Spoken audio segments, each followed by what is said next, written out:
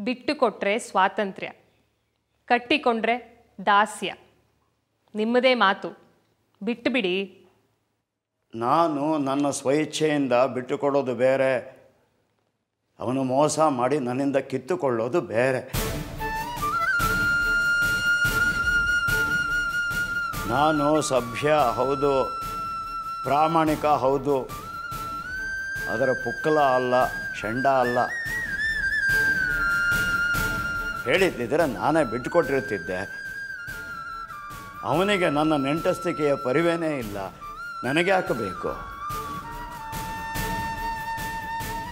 ಮಗ ಅಸಭ್ಯನಾದರೆ ತಿದ್ದೋದು, ತಿಳಿ ಹೇಳೋದು ತಂದೆಯ ಕರ್ತವ್ಯವಾಗತ್ತೆ.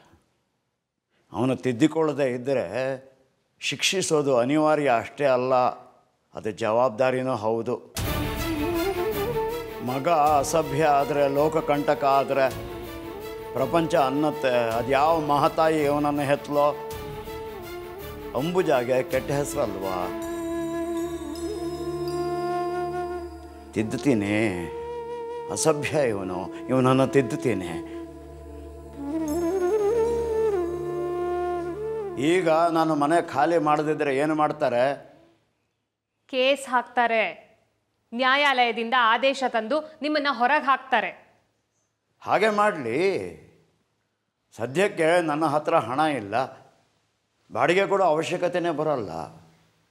ನ್ಯಾಯಾಲಯ ಕನಿಷ್ಠ ಹತ್ತು ವರ್ಷ ತಗೊಳ್ಳುತ್ತೆ ತಗೊಳ್ಳಿ. ಕೆಟ್ಟ ಜನ ರೌಡಿಗಳನ್ನು ಬಿಟ್ಟು ಹೊಡೆಸಿ ಹೊರ ಹಾಕಿದ್ರೆ? ಮನೆ ಎದುರು ಟೆಂಟ್ ಹಾಕಿ ಕೂರ್ತೀನಿ. ಸುದ್ದಿ ಆಗಲಿ ಮಗ ಅನ್ನೋ ವ್ಯಾಮೋಹ ಏನು ಬೇಡ. ಅಜಾತ ಅಂತ ನೀವು ಕರೀಬಹುದು. ಶತ್ರು ಆದ ಅನ್ನೋ ಐತಿಹ್ಯ ಇದೆ. ಪ್ರಪಂಚಕ್ಕೆ ಪಾಠವಾಗಲಿ.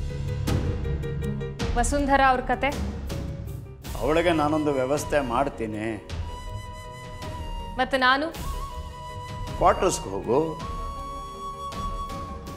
ಈ ವಯಸ್ಸಲ್ಲಿ ಇದು ಬೇಕಾ? ಬೇಡ. ಬದುಕಿದ್ದೀನಿ. ಹಾಗಾಗಿ ಈ ಹಠ ಬೇಕು. ನಾನು ಹಠಕ್ಕೆ ಬಿದ್ದರೆ ಇವನು ಸಂಧಾನಕ್ಕೆ ಬರ್ತಾನೆ. ಒಂದು ಫ್ಲ್ಯಾಟ್ ಕೊಡು ಅಂತೀನಿ.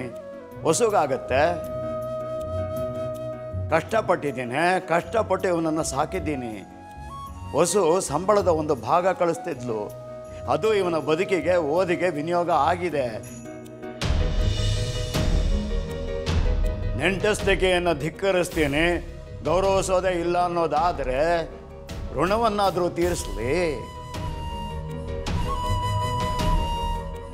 ಮಗ ಶತ್ರುವಾದ, ಅಪ್ಪ ಬದುಕ ಬಿಟ್ಟ ಅಪ್ಪ ಶತ್ರುವಾದರೆ ಮಗ ಉಳ್ಕಂಡ ಚರಿತ್ರೆನೇ ಇಲ್ಲವೇ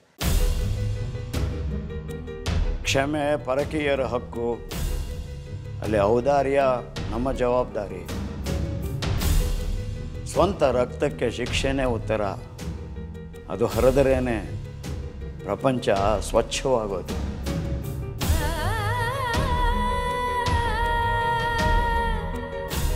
ಪ್ರಪಂಚಕ್ಕೆ ಪಾಠವಾಗಲಿ ಸ್ವಚ್ಛ ಆಗಲಿ.